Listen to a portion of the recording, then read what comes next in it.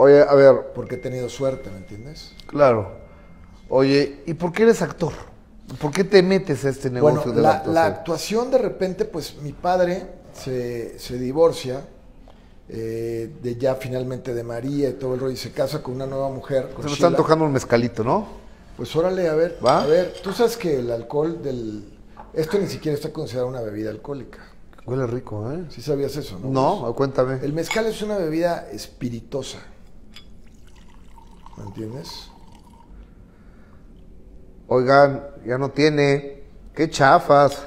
Me lo, me- me Ya lo se dio, lo chupó el productor. me lo dio en vacío. Pasen michi, otra. micha, michi, micha. No, que pasen otra. Bueno, a ver. Bueno, te espero mientras aquí con el cafecito, tú tranquilo. A ver, bueno, aquí Micha y Micha para. Hay una exposición muy Salud. importante ahorita de, de la maestra Leonora Carrington aquí cerquita que te recomiendo mucho que vayas a ver, Gus, en el Museo de Arte Contemporáneo. Y a Oiga. toda la gente que nos está viendo también que le gusta el arte, les recomiendo mucho ir a ver a, al- a la exposición de la maestra surrealista, no la más importante de México, porque Remedios Varo fue la más importante, pero la siguiente más importante. Así es Palazuelos, ¿eh? Acaba de estar en, en Europa, estaba en Italia, de repente me mandaba videos narrados por él y me contaba de la raya italiana, aquí está la radio, y en el año no sé qué, después de la Segunda Guerra Mundial. Ah, Así es. Roberto. Eso que te mandé fue una torre de radio que está dentro del Vaticano, que fue construida por el creador de la radio en el mundo. y que desde ahí, cuando exiliaron al Papa, cuando lo- le redujeron su territorio a las pocas hectáreas que tiene ahora, desde ahí estaban comunicados con el mundo y para eso la construyeron. Para que como estaba aislada la iglesia del mundo, con eso mantenían el contacto con el mundo. Ahí está el mezcalito. Oye, qué buen mezcal, ¿eh? Está buenísimo, ¿eh? ¿Este es patrocinador aquí de tu programa o qué? Porque Pues fíjate que bueno. no sé, pero está buenísimo, ¿no? Pues ya te lo chupaste el otro, güey, pues por eso. A ver, Palazuelos, lo acabo de abrir y nunca había Ahí tomado yo vieja, mezcal ¿eh? en mi Ahorita te vida. a Ahorita viene mi vieja. Pero a ver, vamos a ver. Gracias, Gus. ¿Me ¿Qué tomas tú, Beto? ¿Me quieres emborrachar a ver qué me sacas? Beto, no? ¿tú qué tomas, Ahorita eh? vas a empezar a sacar información de Luis Miguel y la chingada y de todo, ¿no? No, si quieres hablamos de ese señor, pero si no quieres no hablamos. Oye, ¿qué es lo que tú tomas? Bueno, me encanta el mezcal, me encanta el tequila. Soy muy whiskero. Y me gusta a mí el Chivas. No me gusta ni el Bucanas. Bueno, también me gustan los, los Johnny Walker, ¿no? Pero me gusta muchísimo el Chivas y el 12, no me gusta el 18. Me gusta el de los caballeros, el Chivas. Y mi abuelo tomaba All Par.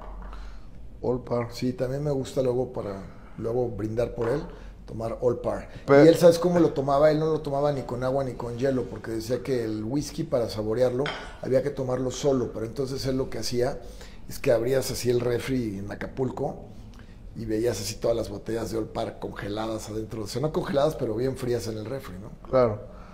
Oye, tu abuelo fue una persona muy importante para ti. Pues sí, pues cómo no, además pues, se llama como yo, ¿no? Se llama como yo, fue una figura, mi abuelo fue un personaje. Roberto Palazuelos, tu abuelo. Me- Roberto Palazuelos Basols, tu mi papá. Mira, es Roberto Palazuelos Leisegui, Ajá. es el fundador de la primera agencia aduanal, bueno, de las primeras patentes de agencia aduanal del país, de los primeros que le propusieron al gobierno federal que si no se abrían al import-export nunca iban a crecer. No podía ser el gobierno los únicos que trajeran y, y- y- y mandaran. Se tenía que abrir para que se abriera la economía, ¿no? Entonces ese fue mi bisabuelo Roberto Palazuelos Leisegui. Luego de ahí él tuvo a un hijo que se llamó Roberto Palazuelos Basols que es mi abuelo. Y luego de ahí viene Roberto Palazuelos Rosenzweig, que es mi padre. Y luego yo soy Roberto Palazuelos Badó y Roberto Palazuelos Garza es mi hijo. Cinco. Cinco, todos en línea directa y, y cuatro de ellos hasta ahora licenciados en Derecho y empresarios. ¿Y tu hijo pinta para allá? Pues mi hijo, si le preguntas que qué quiere hacer, dice que él quiere ser abogado y empresario. Y le preguntas que por qué abogado, para que no me robe nadie y nadie me aplique un contrato raro de lo que voy a heredar, dice. Y empresario para yo triplicar lo que me deje mi padre y para poder ver a mis hijos. Y ya le dije, como se me partiste la madre. Porque pues yo lo descuidé mucho por estar en las novelas y ese rollo, ¿no? Aunque pero ¿por qué eres actor? ¿Por qué eres actor? Ah, bueno, porque entonces resulta que nos cambiamos a esta privadita. Ahí en esa privadita, pues rarísimamente por el destino, se cambia Andrés García, se cambia mi papá, se cambia Héctor Suárez Y después de, de recién cambiados, como a los 6, 7 meses, llega Luisito Rey. Con. ¿Y si era tan hijo de la chingada? Pichita. No, eso no es cierto. Es un actorazo el español este que hace eso. Es, es él porque es un tremendo actorazo y está dirigido en el cliché del superantagónico. De, de toda estructura literaria tiene que tener un antagónico, Claro. ¿no? Pero Luisito, digo, no dudo que haya sido cabrón con Mickey, que sí se lo haya llevado al baile y todas esas cosas.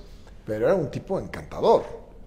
O sea, Luisito tenía un carisma encantador.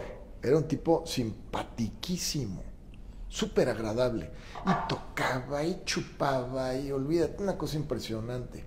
Y pasaba mucho tiempo en mi casa porque pues por ahí traía problemas legales y mi papá pues iba y se echaba unos drinks con mi papá y pues le sacaba toda la asesoría gratis, ¿no? Claro. Así es. Oye, Yo lo llegué a ver a Luisito de que me paraba yo a hacer ejercicio en la mañana y ahí estaban chupando en la sala toda la noche. Ahí estaban Luisito, Andrés, mi papá, a veces Héctor, estaban ahí juntos, eran una banda.